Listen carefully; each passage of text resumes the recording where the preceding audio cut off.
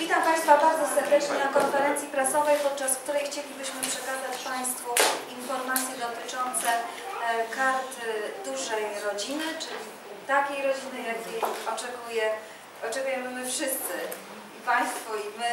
Wiadomo, im więcej dzieci, tym życie jest ciekawsze i bardziej znośne. E, Dzisiaj o tym będą mówić Piotr Grzymowicz, prezydent Olsztyna oraz pani Małgorzata Bartnikowska-Bogdanowicz, zastępca prezydenta Olsztyna.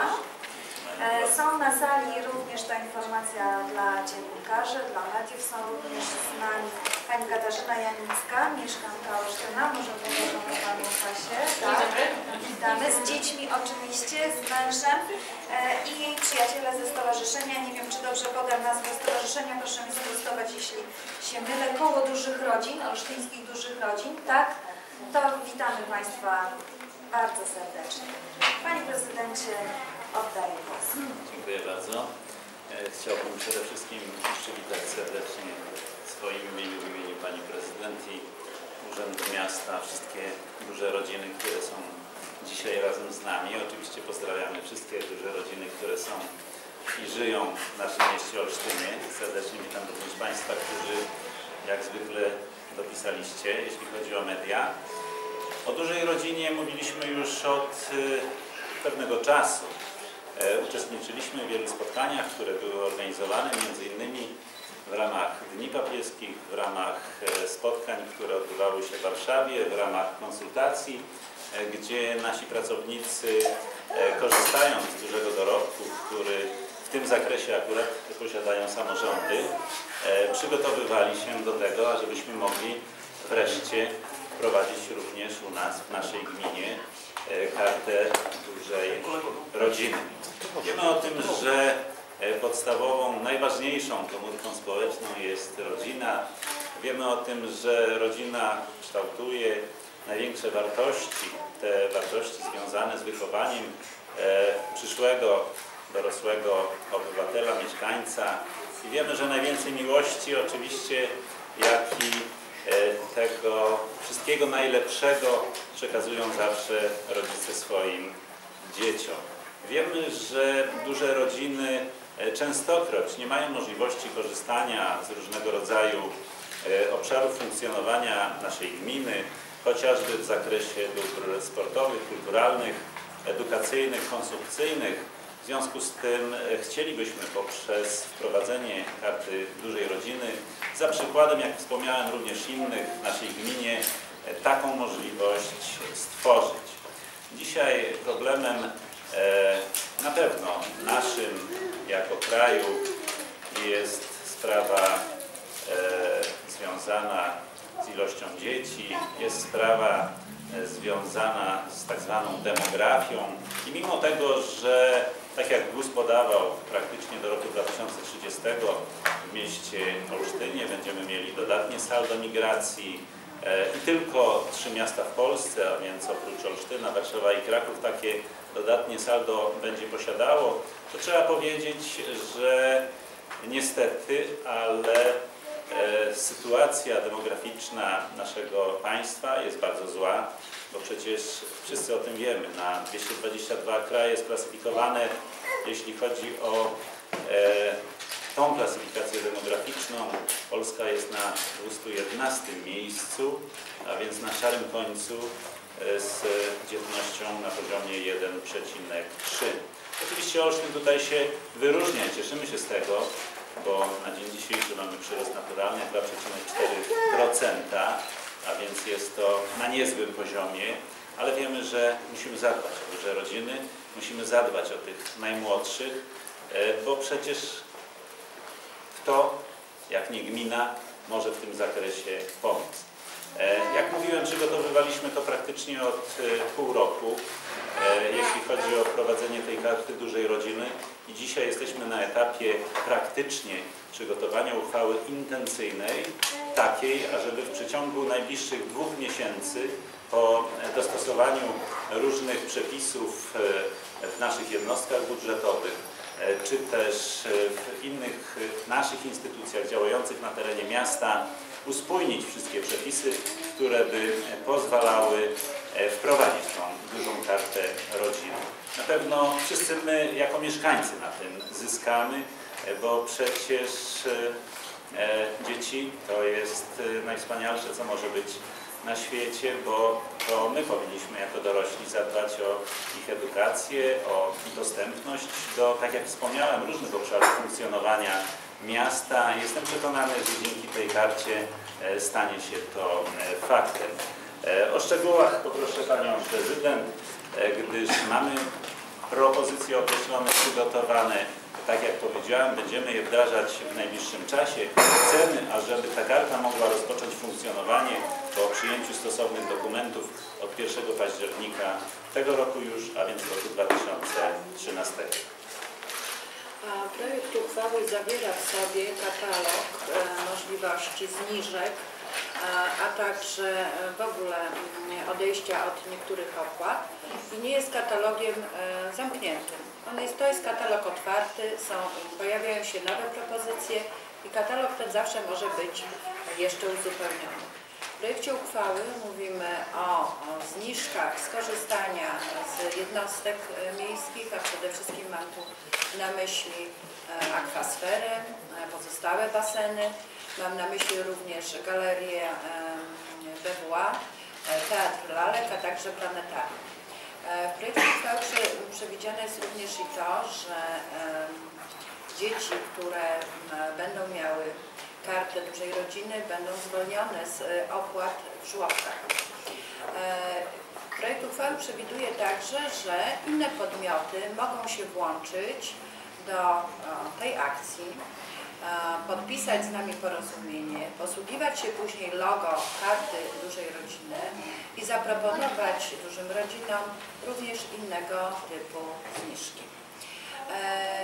E, Myślę, że mm, niektóre z mm, tych zmian wejdą nawet wcześniej w życie niż w ciągu dwóch miesięcy, bo niektóre zmiany wymagają tylko i wyłącznie zmiany jednej uchwały, inne mm, wymagają kilku zmian. Mam na myśli e, tutaj także mm, zmniejszenie obciążeń w opłatach za gospodarowanie odpadami komunalnymi, gdzie procedura jest trochę dłuższa i rzeczywiście zajmie nam to dwa miesiące.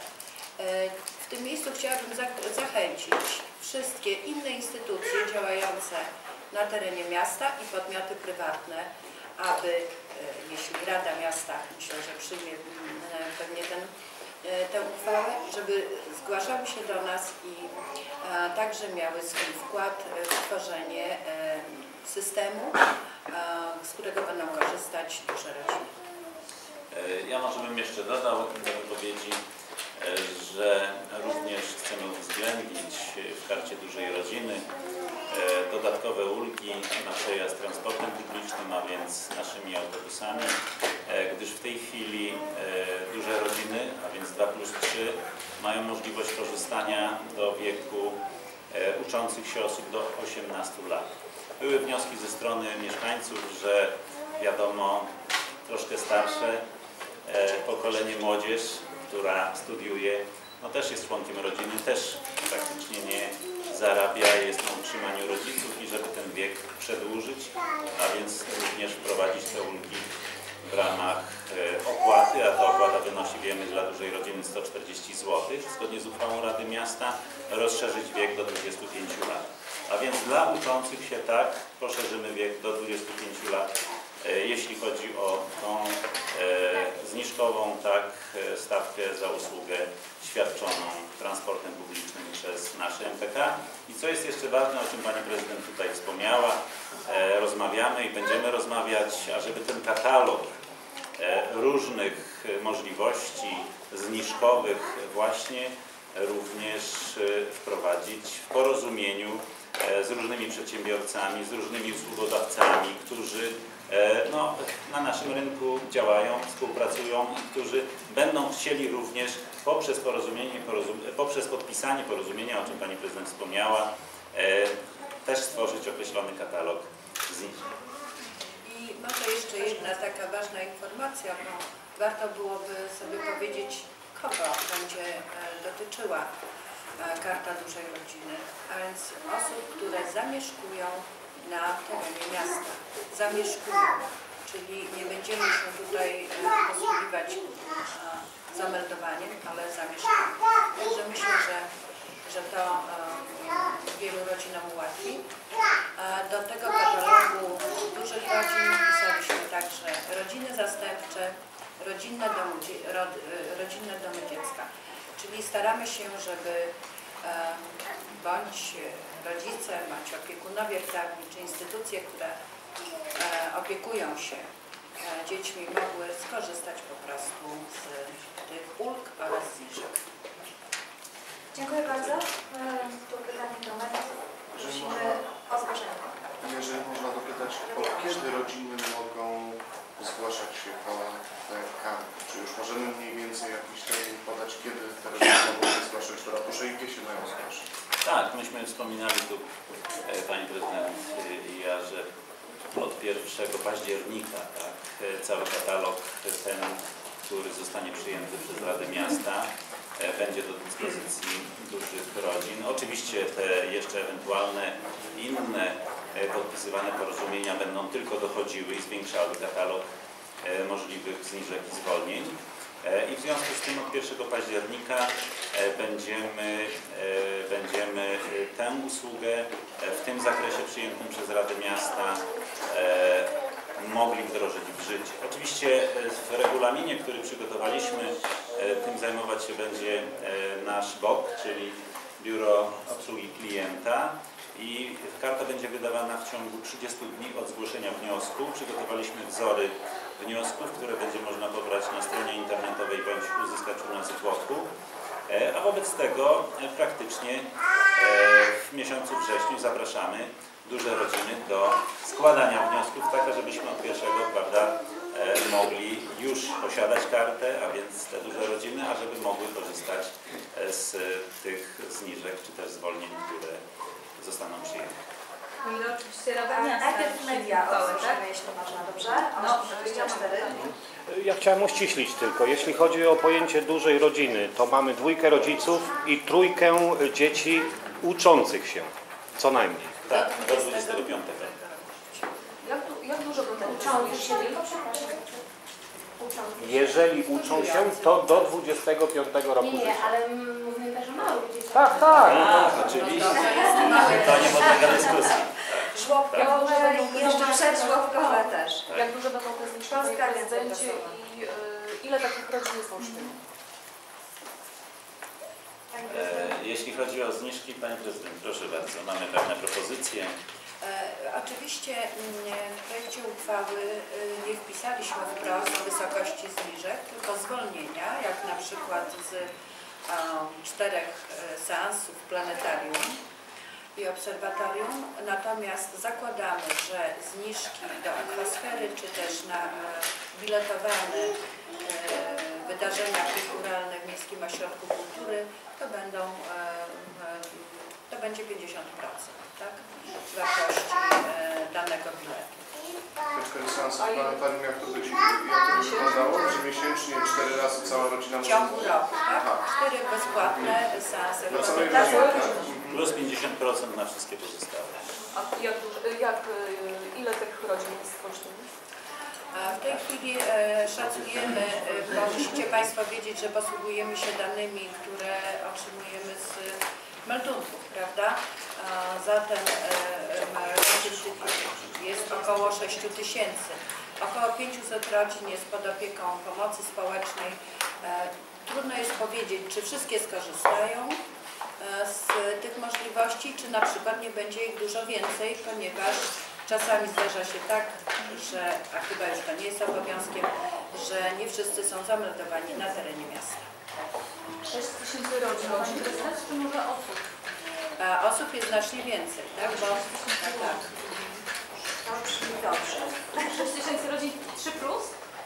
tak. Ba- Dopytam, bo Trzy, i więcej. Bo ja dopytam, bo Więcej, bo dzisiaj gościmy rodziny. O EUK to, to są raptem 400 rodzin, to jest.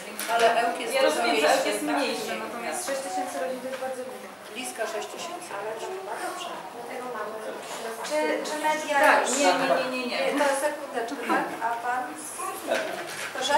Media. E. Wyglądam, wiem. E, to jest też dźwięki na twarzy. Mam takie pytanie, bo e, mówimy tu ciągle o Olsztynie, a obok Olsztyna są miejscowości, gdzie sporo osób mieszka i posiada wiele wielodzietnych rodzin. Czy nie wiem, no, są jakieś plany nawiązania współpracy, nie wiem, na przykład ze Stawiku z jakimiś innymi miejscami, które są sypialniami Olsztyna? E, My mamy zawiązane stowarzyszenie aglomeracyjne, e, które skupia praktycznie cały powiat olsztyński. E, Przygotowujemy również w ramach tego stowarzyszenia wspólne programy, jak i projekty, które chcemy realizować w oparciu o dostępność środków unijnych. Również w oparciu o środki Ministerstwa Rozwoju Regionalnego wystąpiliśmy, ażeby przygotować strategię rozwoju obszaru aglomeracyjnego. W tym roku zresztą musimy ją mieć przygotowaną, ażeby później dalej móc wspólnie występować i e, różnego rodzaju projekty realizować. E, Do tej pory to były y, przede wszystkim przez wójtów burmistrzów e, sygnowane, jak i zgłaszane projekty typu infrastrukturalnego.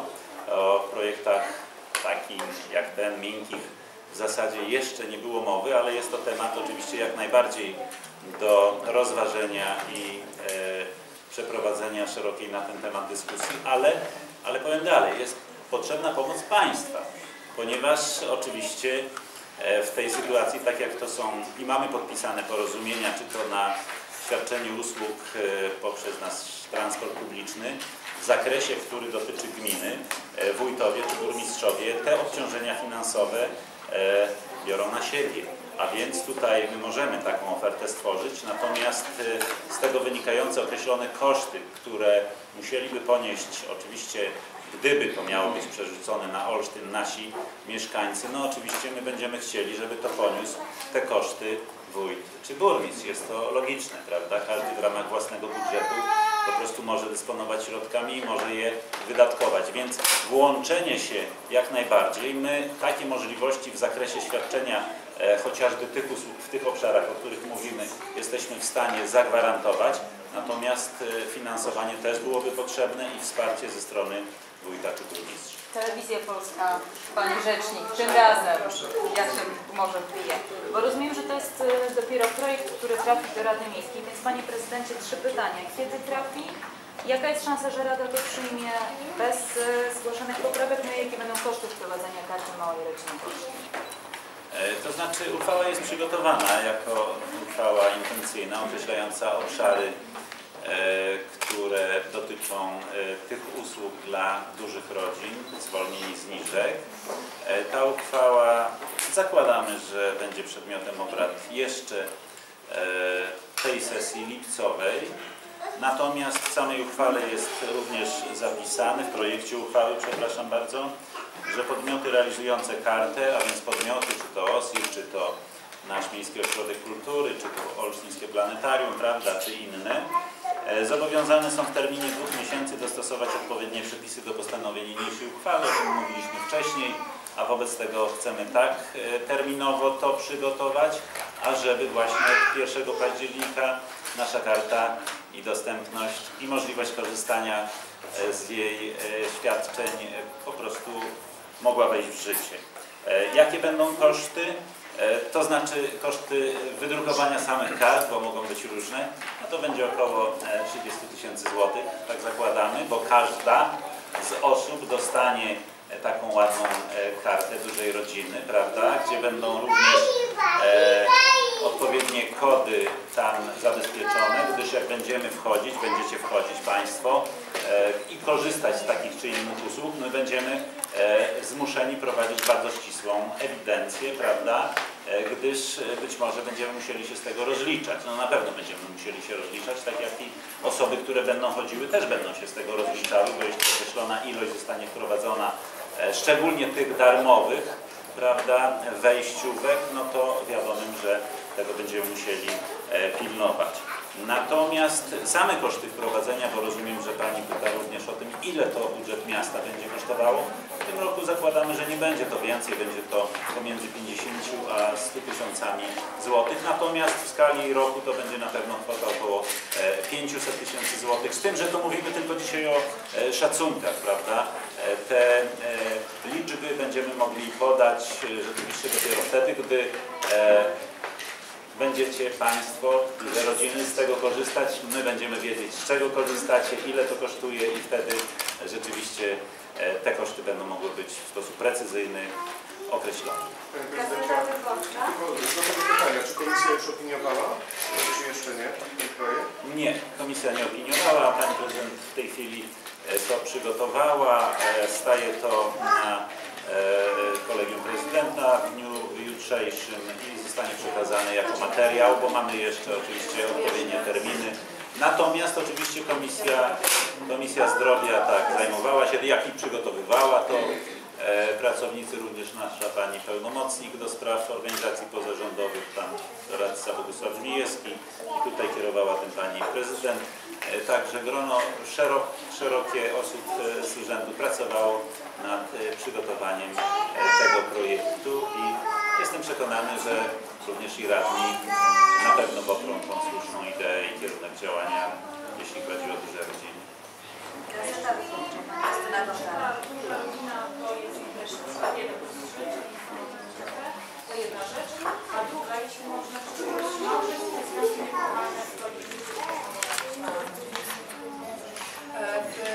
Oczywiście w treści uchwały definiujemy, co rozumiemy przez dużą rodzinę. E, Nie tylko mamy tu na myśli związki małżeńskie, ale generalnie chodzi nam o rodziców i opiekunów prawnych. E, Zatem jeśli ktoś jest e, opiekunem prawnym i występuje jako jeden rodzic, Więc oczywiście jak najbardziej może korzystać z tej karty, jeżeli pod opieką jego znajduje się swoje dzieci. Tak jak mówiłam, katalog jest tu dość szeroki, bo mieliśmy także rodziny zastępcze, prawda, rodzinne domy dziecka. Zatem no, myślę, że e, nie powinny tutaj zapisy budzić e, żadnej wątpliwości. Dziękuję bardzo. Czy to wszystkie pytania ze strony mediów? A może, może z Państwa ktoś oceni tę propozycję prezydenta z naszych gości? Ktoś indywidualnie, tak. to ja chciałam wszystkim Państwu serdecznie podziękować i bardzo zachęcić e, obecnych e, rodziców, opiekunów i dzieci na sali, żebyście Państwo zechcieli rozmawiać z, z mediami. Proszę. A możemy mieć pytanie do Pana Prezydenta? No, jeśli Pan będzie w stanie odpowiedzieć. Dziękuję w ogóle za zaproszenie, że się przychodzi. E, Cieszymy się, że inicjatywa e, właśnie kart dużych rodzin zostaje też prowadzona w Olsztynie. Powiem szczerze, że trochę późno, ale cieszę się, że, że to się teraz właśnie dzieje. Mam nadzieję, że ten też się będzie rozszerzał, bo to istotna sprawa, żeby jak najwięcej firm i e, wszystkich usługodawców, którzy będą chętni nam e, dawać takie zniżki. Nie ukrywam, że to dużo pomoże. Ja sama jako rodzina wielodzietna nie bywam zbyt często w kinie, czy na basenie z dzieciakami, a myślę, że to nam dużo pomoże. To jedna rzecz. Chciałam też zapytać, mówiliście Państwo o tym, że żłobki, e, będzie zniżka na żłobki. Przepraszam, ja Pana prezydenta nie widzę. nie mogę tak rozmawiać. E, a co z przedszkolami? E, czy będzie też taka możliwość, że rodziny właśnie wielodzietne będą miały zniżki też do przedszkoli? Bo to jest inna jeszcze kwestia, którą kiedyś rozmawialiśmy na sesji Rady Miasta, była też poruszona ta kwestia, to jest jakby trochę inna bajka, ale mimo wszystko dotyczy sporej grupy e, ludzi, dużej grupy rodzin wielodzietnych. Szkoły są drogie, jak wiemy teraz cały czas jest ta stawka niezmieniona 3 zł. Być może, że wyjdzie ustawa e, o oświacie, to się zmieni, ale czy też w tym pakiecie mogą znaleźć się przedszkola? Tak. Ja tylko na pierwsze pytanie e, Pani odpowiem. E, 50 miast, około 50 miast w Polsce Tak, gmin było wprowadziło 50 prawda, gmin. kartę dużej rodziny. E, Staramy się do tej awangardy oczywiście również e, dołączyć. Jestem przekonany, że tak też się e, stanie. Pracowaliśmy nad tym, bo przez dnia na dzień to nie byłoby możliwe do wprowadzenia.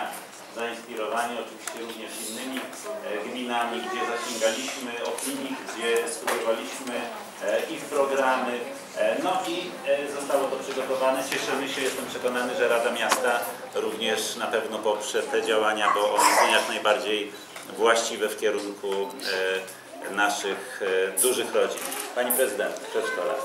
E, Tak jak mówiłam, oczywiście katalog nie jest zamknięty, ale czekamy na rozstrzygnięcie ustawy, i która mm, założeniach ma sprowadzić opłatę do jednej złotówki poza podstawę programową. Dlatego też, jak Państwo się orientujecie, przedszkola aktualnie nie podpisują umów z rodzicami. E, I chcemy mieć po prostu tutaj już e, jasność. Jeśli ta ustawa zostanie wprowadzona, to będziemy, nie wykluczam, również poszerzać ten katalog. E, Wiąże się to z bardzo dużymi skutkami finansowymi, dlatego też myślę, że nie może to nastąpić wcześniej niż od 1 stycznia. E, Zatem myślę, jeśli ustawa wejdzie w życie, to wszyscy rodzice będą mieli lżej, czyli złotówkę za godzinę, a dalej od 1 stycznia będziemy myśleć, czy możemy. Nie chciała, nie, chciałam tych dwóch kwestii łączyć. Ustawa swoją drogą daje zniżki, bo tak naprawdę to samorządy decydują, czy dadzą, czy nie później dalej rodzicom. A to jest zupełnie inna kwestia. Może Państwo powinniście się na tym stanowić, żeby mimo wszystko rodzinom właśnie wielodzietnym ulżyć i po prostu je no, w pewien sposób tutaj zapromować i pomóc. No tak. Tych dwóch kwestii, Tak, to są tak. dwie różne sprawy. No my na pewno by chcieli, chcielibyśmy jak najszerzej prawda, e, tę ofertę przygotować i jednocześnie realizować, natomiast jak Państwu jest e, i wszystkim naszym mieszkańcom wiadomym, e, jesteśmy w trakcie również przygotowywania nowego projektu na rok, projektu budżetu 2014 i oczywiście wprowadzenie e, różnych ewentualnych dodatkowych, tak, o których myślimy, o których mówimy, będzie musiał, e, tych świadczeń musi być poprzedzone analizą e, możliwości budżetowych. Jeśli takie możliwości będą, będziemy dyskutować, będziemy e, wspólnie zastanawiać się, w jakim zakresie jest to możliwe. Natomiast no, dzisiaj pewne rzeczy e, byłoby za wcześnie już deklarować, bo e, musimy wiedzieć, jakie te możliwości nasze budżetowe e, będą i czy one sprostają ewentualnym tym dodatkowym jeszcze, prawda, świadczeniom. Czy ma takie krótkie pytanko można? Proszę bardzo, wprawdzie to konwencja prasowa. Tak, oczywiście. Jan Jastrzębski, ja jestem nie tylko głową dużej rodziny, ale też prezesem Stowarzyszenia 2+. Mam takie szybciutkie pytanka, dwa. Pierwsze pytanie, kto bezpośrednio koordynuje ten projekt, czyli z kim można się kontaktować, jeżeli chciałoby się wpłynąć częściowo na kształt, tak? Zaprosić dodatkowe firmy, które wiemy osobiście, że chcą uczestniczyć i tak dalej. Czyli pytanie, z kim się bezpośrednio kontaktować? Pytanie dwa, są plusy i minusy tego, że e, późno jest wprowadzane. Plusem jest to, że możemy się uczyć na, na przykładzie innych miast, jakie były błędy i je poprawiać. E, W zeszłym roku w Warszawie był taki absurd, że część dużych rodzin została pociągnięta przez Urząd Skarbowy do zapłacenia podatku od wzbogacenia z okazji korzystania z dużej karty. Wystąpiliśmy do Urzędu Skarbowego, czekamy na opinię też, bo chcemy uprzedzić po prostu przed ewentualnymi tak, działaniami Urzędu Skarbowego. Tak. E, Wystąpiliśmy do urzędu, czekamy na, na stanowisko, gdyż no, nie chcielibyśmy też wprowadzić coś, co mogłoby mieć jakieś negatywne skutki dla Państwa, a przede wszystkim jeśli już to od samego początku wszystkie osoby biorące udział w tym projekcie muszą być poinformowane, prawda, co ewentualnie Urząd Skarbowy i w jaki sposób może w takich sytuacjach e, się zachować i postępować. A co do kontaktu, z kim się kontaktować? Biuro Komunikacji Społecznej, prawda? Myślę. To znaczy tak, e, myślę, że e, oczywiście e, swoje wnioski można składać do stosownej Komisji Rady Miasta, bo jest to Komisja Zdrowia, Spraw Społecznych i Rodziny. Zatem na pewno tam. A Myślę też, że będziemy zbierać opinie o funkcjonowaniu e, karty i o ewentualnych zmianach i praktycznie e, wszędzie, czy w Biurze Komunikacji Społecznej, czy u pełnomocnika do spraw organizacji pozarządowych, czy w Wydziale Zdrowia swoje własne propozycje i wnioski będzie można składać, e, w tym również na pewno też drogą mailową. Natomiast na stronie internetowej będziemy akcję propagować i pokazywać również inne podmioty, które będą się chciały włączyć do karty dużej rodziny. A w tej chwili dzisiaj, e, jeżeli macie kilka firm, które chciałyby uczestniczyć, do kogo Dzisiaj proszę Pana jeszcze nie, bo jeszcze uchwała nie została uchwalona. Nie, nie, no ja bardzo proszę o maila, tak? bezpośrednio Tak na jest, ten- bardzo Tak, proszę. otwiera Ja- także nie ma problemu. Proszę, bo Pan się nie cierpi. Zapraszamy. E, moje nazwisko Marcin Koski. Ja do, do 2011 roku mm, mieszkałem w Olsztynie. E, teraz się przeprowadziliśmy do Ostrzeszewa. To jest chyba najbliżej położona centrum miasta e, wioska. W gminie Purda. No, gmina Purda, jak wiadomo, nie jest najbogatszą gminą e, w, e, tutaj w powiecie. E, I z tego co słyszę, e, no, mm, no nikłe szanse są dla tych osób, rodzin wielodzietnych, ja mam akurat czwórkę dzieci, żeby skorzystały mm, z tego programu. A chociaż e, nasze całe życie e, jest e, związane z Olsztynem, bo całe życie się dzieje tutaj w Olsztynie, gdyż mamy tutaj e, i w szkole, w przedszkolu, No i całe, no wszystko co robimy to jest w Olsztynie, bo do gminy mamy 20 km w sumie e, do urzędu gminy. Więc e, ja myślę, że to dobrze jest e, na, nie wiem, pomyśleć, żeby rozszerzyć pewne, pewne granice e, tego, e, tego projektu. Jak Chociaż do najbliższych, Pan najbliższych żeby spółdzielnie wpłacali swoje podatki do to już e, ja... teraz, tam nie ma tego, nie przez- korzystamy z tego. Ja, to rozumiemy, ja tylko- podatki, proszę E. Szanowni Państwo, my to rozumiemy, tylko Dopóty. e, też proszę nas zrozumieć, że e, oczywiście wszystko kosztuje i teraz my dając czy ulgi, czy darmowe bilety musimy w tak zwanej dotacji podmiotowej e, pokryć naszym jednostkom e, no, te wydatki szczególne, które w ramach karty dużej rodziny e, one będą ponosić. A w związku z tym to nasi mieszkańcy tak złożą się na to, ażeby z tych usług e, duże rodziny mogły korzystać. W związku z tym ja jeszcze raz wrócę do tego, co wcześniej mówiłem, że absolutnie jesteśmy otwarci na współpracę, ale wymaga to e, aktywizacji ze strony wójta, burmistrza e, i współpracy, która w tym zakresie po prostu jest niezbędna, która jest e, potrzebna. Gminy jest bogatszy i biedniejszy. Bogatsza może być na to stać, a biedniejszy chyba bardziej nie.